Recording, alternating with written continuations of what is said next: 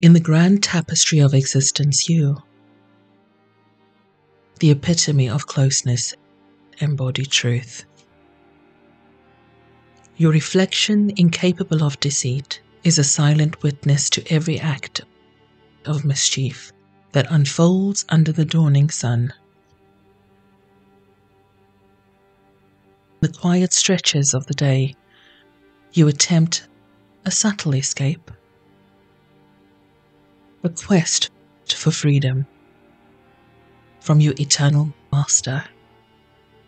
Like a fish in water, your existence is intrinsically tied to the presence of your master.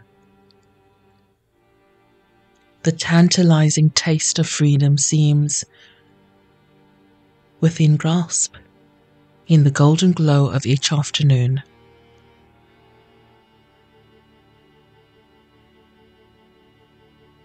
All hope seems to disappear, together with the who came with it as the sun sets.